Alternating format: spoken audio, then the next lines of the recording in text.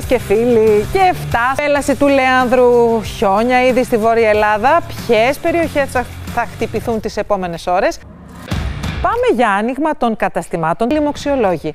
Εμείς θα σας πούμε σε περίπτωση που αποφασιστεί μας, καθώς θα περάσουμε σε ένα διαφημιστικό διάλειμμα.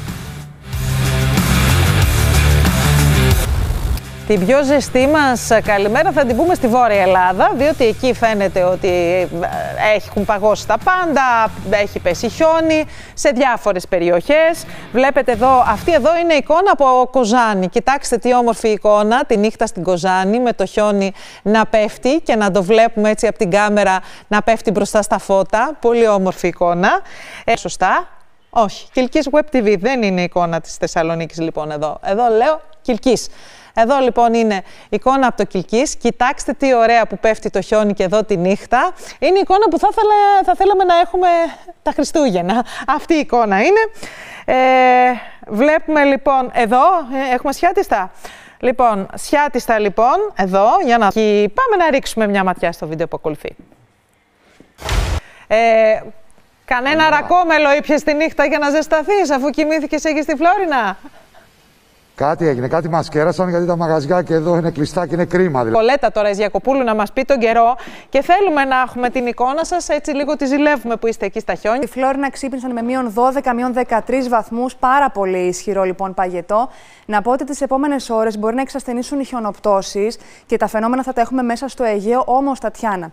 Ουσιαστικά από το βράδυ απόψε και αύριο Σάββατο πάμε σε νέα πολύ σοβαρή επιδείνωση του καιρού. Πιο δύσκολα τα πράγματα λοιπόν θα είναι αύριο καθώς τα Εκεί φαίνεται ότι είναι η θερμοκρασία. Με την οδήγηση γενικώ ρώταμε, γιατί δεν οδηγώ. αυτοκινήτου. Θέλουμε τις τρεις βασικότερες συμβουλές για την οδήγηση. Καλημέρα, καλημέρα. Ε, ναι, η πρώτη συμβουλή είναι να μην πάτε. Α, πολύ ωραία. Έτσι. Να. Ε, η δεύτερη; Κάτι, η δεύτερη, όπως ακριβώς για να βγεις στις πολύ όμορφε εικόνες που μας μεταφέρατε νωρίτερα, για να βγεις αυτό το χιόνι θα πρέπει να βάλεις τα σκουφιά σου, τα γάντια σου, το παλτό σου και όλα ναι. τα υπόλοιπα. Έτσι αντίστοιχα πρέπει να προετοιμάσεις και το αυτοκίνητο. Άκουσα και καμάρωνα στο ρεπορτάζ ε, που μιλούσαν για χιονολάστιχα ή για χειμερινά λάστιχα. Είναι η συνήθι πρακτική σε όλη την Ευρώπη ε, για να αντιμετωπιστούν αυτές τις καταστάσεις. Οι αλυσίδες είναι μια ανάγκη, ας το πούμε έτσι. Μια ναι. τέχνη κατεργάζεται. Βάζουμε μια αλυσίδα στο λάστιχο. Σε κάθε περίπτωση θα πρέπει να ξέρουμε πώς να την τοποθετήσουμε. Αυτό είναι πάρα πολύ σημαντικό. Και εκτός από το να ξέρουμε πώς να την τοποθετήσουμε, θα πρέπει να την τοποθετήσουμε σε ένα σημείο που να μην ενοχλούμε τους άλλους.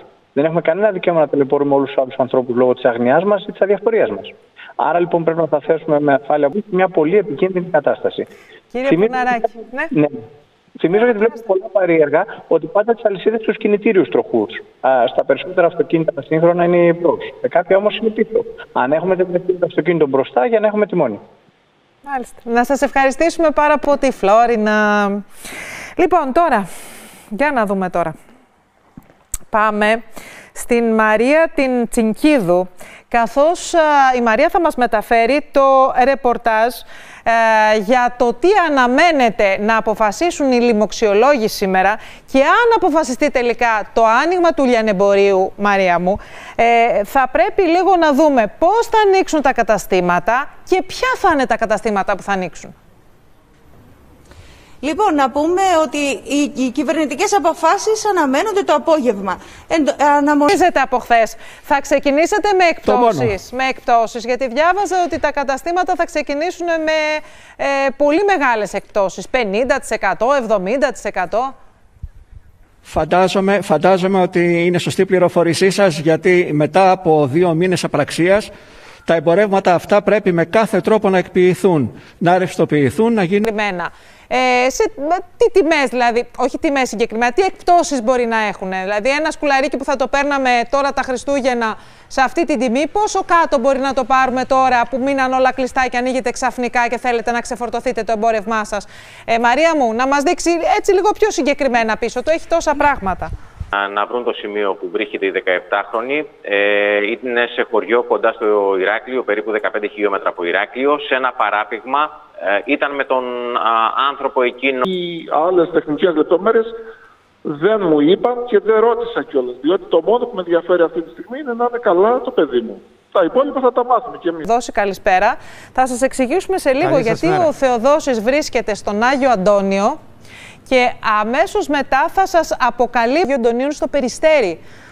Δεν είναι ο σταθμός της Ομονίας, είναι στο περιστέρι. Γιατί είμαστε στο περιστέρι, τι Κουτάκια να ψη... ε, εν ώψη λοιπόν του δικαστηρίου για πρώτη φορά θα μιλήσει ανοιχτά ο άνθρωπος ο οποίος ε, υπέ... Ο Θεός, τώρα είμαι καλά. Πλέον ο κύριος Κωστή εδώ πέρα εικόνα που είχε προβληθεί πέρυσι από τα περισσότερα μέσα μαζικής ενημέρωσης, της επίθεσης που είχε δεκτεί από την κουμπάρα του, συγκεκριμένη σύνδεση και πάλι με την ε, Καλά. Ε, πριν να ξεκινήσουμε, κύριε Κωνσταντίνο. είπαμε να παιχτεί ένα τραγούδι. Αυτό απλά είναι η απολογία η οποία έκανε η συγκεκριμένη στον ανακριτή. Και πιστεύω, εντάξει, αυτά τα πράγματα είναι για το... Ε, στην ημέρα και στη στιγμή της επίθεσης. Καλημέρα σας κύριε Ξυλουργίδη. Καλημέρα κύριε 16 Στεφανίδου. Σεπτεμβρίου ήταν. Θα ήθελα λίγο, ένα, έτσι ολοκληρώνοντας α, σταδιακά με τον α, εντολέα σας, θα ήθελα λίγο να μείνουμε στις... στις, α, ζητήσατε να παίξει κάποιο τραγούδι για την απιστία και εσείς το διαψεύδετε. Υπήρχε μουσική εκείνη την ώρα στο συνεργείο, υπήρχε Όχι, κάτι. δεν, δεν, δεν υπήρχε μουσική. Όχι, δεν υπήρχε μουσική εκεί έξω και αυτό Πώς θα, μπορεί πώς θα να το βάζατε επιβεβαιώσει ο τραγούδι για την καθένας ανά απιστία, πάσα αν δεν, στιγμή; αν δεν υπήρχε, δηλαδή πώς Έλα, ακριβώς θα δεν- το βάζετε. αυτό- αν αυτό- δεν- Τους τελευταίους μήνες στην αγωγή της. Δηλαδή, οφείλουμε να εξετάσουμε την υπόθεση από όλες τις πτυχές. Γιατί και μια γυναίκα Όπως έτσι. το είπατε, ίσχυε. Είχε πάει και της είχε κάνει επίπληξη. Άρα και ο άντρας της το γνωρίζει αυτό. Τον ενημέρωσαν για αυτά τα μηνύματα. Μάλιστα. Ότι, γιατί όταν έλεγε κατόπιν της πράξης ότι όντως είχαν γίνει και τα είχαν δει. Άρα Και μάλιστα, ε, σε λίγο θα δούμε ε, και τους ισχυρισμούς του ανθρώπου. ερωτική σχέση που είχαν, δεν ήθελε να δει την ίδια ούτε βεβαίως τους γονείς της. Θα Αυτό ήθελα να και ακούσουμε μόνο και, ήταν. τον ίδιο, αν θέλετε. Μπορούμε να ακούσουμε τον ίδιο την ώρα έτσι που κουβεντιάζουμε Ναι, εμείς; ναι. Μπορούμε να τον ακούσουμε παρακαλώ πολύ.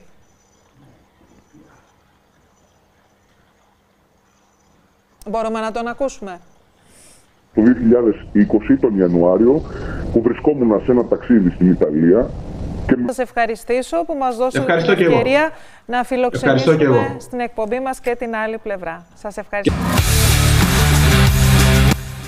Πόπη Παπαδοπούλου.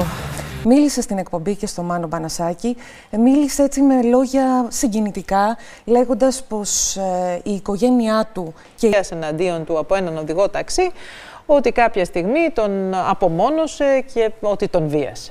Ο Γιώργος ωστόσο αθώθηκε, πρωτόδικα. Ναι, αθώθηκε. Υπάρχει βέβαια τώρα το δίκη η οποία έρχεται. Πρώτα απ' όλα να πω ότι συγκεκριμένα ότι το εφετείο είναι στη Γίνε.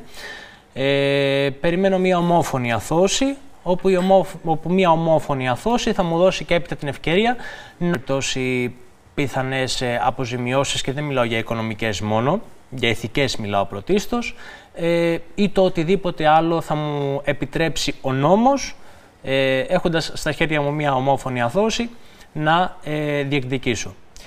Ε, με βάση την απ- Κοιτάξτε, ε, σίγουρα, αλλά μ, όπως και να έχει, εγώ από τους ε, δικαστές, η, μ, η, πώς το λένε, η εξαίρετη λειτουργία της ελληνικής δικαιοσύνης ε, με βουλεύματα τα οποία στην ουσία τι κάνουνε, αντιγράφουν ό,τι έχει πει ο προηγούμενος με λίγο αλλαχμένα λόγια, χωρίς να απαντάνε σε τίποτα από αυτά που έχεις προσκομίσει εσύ, τι... της έδρας στη δίκη. Όχι, Λες μιλάω τώρα γενικά για την ιδιότητα του για τη εισαγγελέα. συμπε- Πούση, Για να κλείσουμε πολύ ωραία Έτσι. την εβδομάδα, έτσι. Λοιπόν, πάμε να δούμε τον κύριο Τσάνγκ Γιουτέ από την Ταϊβάν που έκανε παρακαλώ ρεκόρ. Και σκουφιά ήρθαν τα χιόνια και τα κρύα στη